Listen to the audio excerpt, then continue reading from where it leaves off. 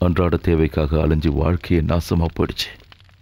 அப்படி வாழ்க்கையை தேடி போனவங்க கொலக்காரங்க எனக்கு தெரியும். அந்த கொடுமையான வாழ்க்கையை நானும் அனுபவிச்சிருக்கேன். அன்னைக்கு எங்களுக்கு சொந்தம் சொல்லிக்க யாரும் இல்லை. தினம் வாழறதே கஷ்டமாயிடுச்சு. அதிலிருந்து தப்பிக்கிறது தான் கனவாக இருந்தது. எல்லாமே நாசமா போயிடுச்சு. பல பேர் பைத்தியக்காரங்க ஆனாங்க. பலர் குடிகாரன் ஆனாங்க. இன்னும் சில பேர் நம்பிக்கை துரோகிங்க ஆனாங்க. இப்படி எதுவும் ஆகாதவங்க தற்கொலை பண்ணிக்க போனாங்க. நான் இந்த வழியை தேர்ந்தெடுத்தேன் கவிதை. அதெல்லாம் இருக்கட்டும். ஒரு காலத்தில் நீங்கள் சுதந்திரம் அது இதுன்னு அலைஞ்சிக்கிட்டு இருந்தவங்க. நமக்கு நம்ம இந்தியாவில் ஜனாதிபதி ஆட்சி முறையில் மனிதாபிமானம்ன்ற பேரில் வந்துட்டு அந்த நிறுத்துங்க? ஜனாதிபதி ஆட்சி முறை மனிதாபிமானம். நாம வேற ஏதாவது பேசலாம். இரு நான் எடுக்கிறேன். ஒரு நிமிஷம்.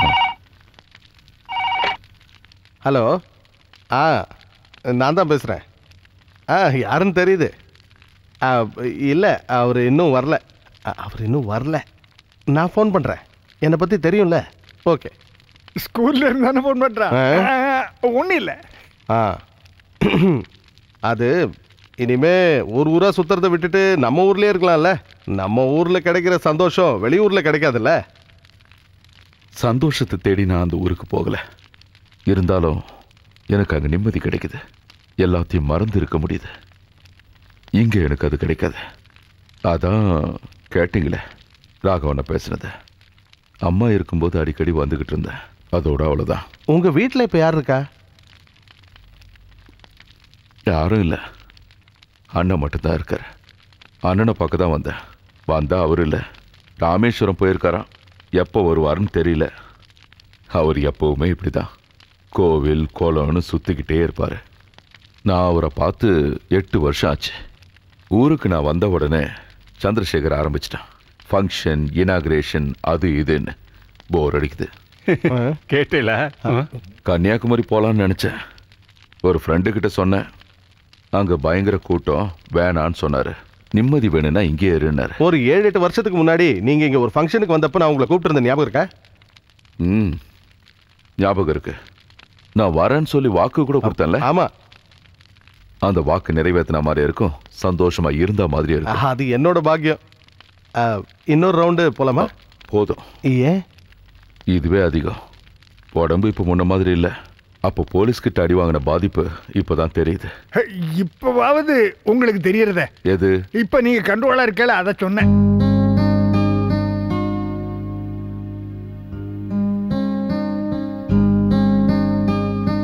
ஓ பயங்கரமான விஷயம்தான். என்னால நம்பவே முடியல. நீங்க இன்னைக்கு காலையில தானே இங்க வந்தீங்க. அதுக்குள்ள எல்லாருக்கும் தெரிஞ்சு போச்சு. எப்படி தான் தெரிஞ்சுக்கிறாங்களோ தெரியல. எப்படி தெரிஞ்சிருக்குன்னு எனக்கு தெரியும். நான் யார்கிட்டயும் சொல்லல. இப்பதான் நம்ம தமிழ் மக்களுக்காக இங்க ஒரு பெரிய ஸ்கூல் இருக்கு. அங்க இருந்து போன் வந்தது. அங்க ஏதோ ஆனிவர்சரியோ அது இதுன்னாங்க. நீங்க அங்க ஒரு ஒரு பத்து நிமிஷம் வந்தா போதுங்கிறாங்க. ரொம்ப கட்டாயப்படுத்துறாங்க. அது பதில் எதுவும் சொல்லலையே? என்ன? இல்ல அவங்க கிட்ட நான் என்ன சொல்லட்டும்? நான் சொல்லி தான் தெரியணுமா? உனக்கு தெரியாதா? நான் ஃபோன் பண்ணப்போ உன்கிட்ட சொன்னேன்ல. நான் வர்றது யாருக்கும் தெரியக்கூடாதுன்னு. அது நான் யார்கிட்டயும் சொல்லல. கே கே தயவு செஞ்சு போய் சொல்லாத. எங்க என் கண்ணை பார்த்து சொல்லு பார்க்கலாம்? ஏன் பேசாம இருக்க? அடிக்கடி ஃபோன் வர்றதும் நீ வழியறதும் பேசுறதும் நானும் பார்த்துக்கிட்டு தான் இருக்கேன். என்ன என்ன அது கூட புரிஞ்சுக்க தெரியாத முட்டாள் நினைச்சியா? அது வந்து தெரியாம என்ன தெரியாம நடந்துச்சு? வாக்கு கொடுத்துட்டேன்.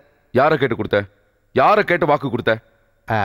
அது சினிமா ஆர்டிஸ்ட் மாதிரி ஒரு அழகான பொண்ணு என் கையை பிடிச்சிட்டு காப்பாத்துங்கன்னு கேட்டா நீயா இருந்தாலும் அதானே செய்வ? ஐயோ ஐயோ. அது நான் ஒரு விடோயர்ல கொஞ்சம் மனசு இறங்கிட்டேன் இங்க பாரு பெருசா ஒண்ணும் இல்ல. கொஞ்ச நேரம் போய் தலையை காமிச்சிட்டு ஓடி வந்துடலாம். நீ வேணும்னா போய் தலைய காட்டு நான் வரல. அது என் மானத்தை காப்பாத்துறதுக்காவது நீ எங்க வரணும்? போறேன். நாளைக்கே எனக்கு ஒரு டாக்ஸி பிடிச்சு கொடு ஊருக்கு கிளம்புறேன். எங்க? நான் இஷ்டப்பட்ட இடத்துக்கு. ச்சே எங்க வந்தாலும் நிம்மதியே இல்லாம போச்சு. என்ன தப்பா தயவு செஞ்சு நினைச்சு என்ன டிஸ்டர்ப் பண்ணாதீங்க நான் தூங்கணும். இல்ல கொஞ்சம் யோசிச்சு good night okay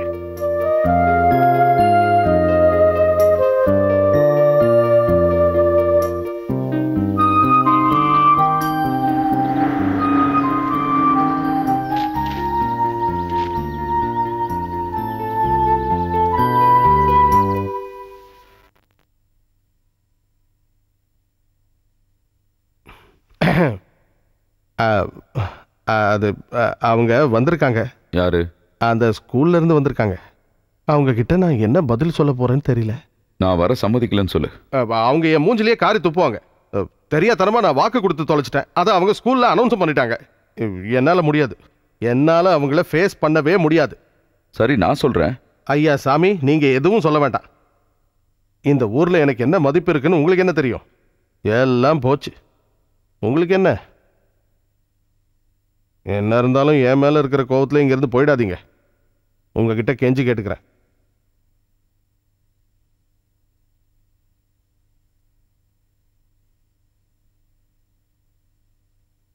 K K. Mister K K Nathan.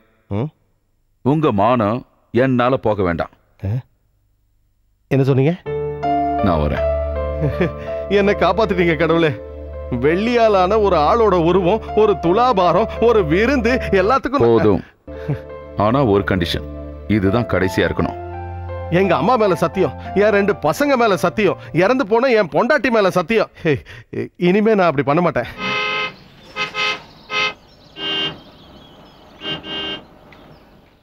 கவிதை எப்படி இருக்கணும்னு புரியுது. இப்போ தெரிஞ்சுதா நான் ஒரு வாக்கு கொடுத்தா கண்டிப்பா காப்பாத்துவேன். இங்க பாருங்க முதல்ல அவர் சம்மதிக்கல நான் விடுவேனா? நான் அவர்கிட்ட சொன்னேன் இதுக்கு மட்டும் நீ சம்மதிக்கலனா நம்ம ஃப்ரெண்ட்ஷிப்பை விட்டுருன்னு. பயந்து போய் ஒத்துக்கிட்டா? அஹ், உங்க கவனம்லாம் வேற எங்கேயோ இருக்கு போல இருக்கு. கவனிக்கல சார். நாம அப்புறமா பேசலாம். முதல்ல நான் அவர் பேசுறது கேட்கிறேன் அது சரி. ம். எப்படி நட்சத்திரங்கள் உருவாச்சு? சூரியன் நிலவு பூமி இந்த பூமியில வாழ்ந்துகிட்டு இருக்கிற உயிரினங்கள் இதெல்லாம் உருவாகிறதுக்கான கரு என்ன? காரணம் என்ன? இந்த கேள்விக்கெல்லாம் பதிலே இல்லை இந்த மாதிரியான கேள்விகளுக்கெல்லாம் பதிலை இன்னும் நாம தேடிக்கிட்டு தான் இருக்கோம். இந்த மாதிரி பதில் தெரியாத கேள்விகளுக்கெல்லாம் நம்மளா கொடுக்கிற விளக்கம் தான் இயற்கை கடவுள் இல்ல அதையும் மீறின ஒரு சக்தின்னு நாம எல்லாம் நம்பிக்கிட்டு இருக்கோம்.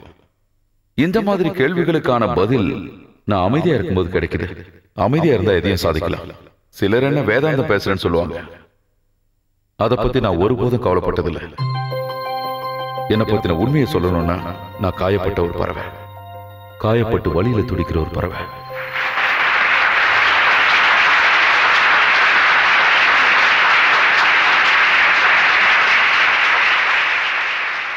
Thank you, Mr. Chandradas, for your kind, intellectual, poetical, and enchanting speech. Next item, vote of thanks. Before that, I have a request to our chief guest. You may be the kind enough to share some more time to see the artistic performance of our students. It will be a great encouragement to the little artist. Will you please? Okay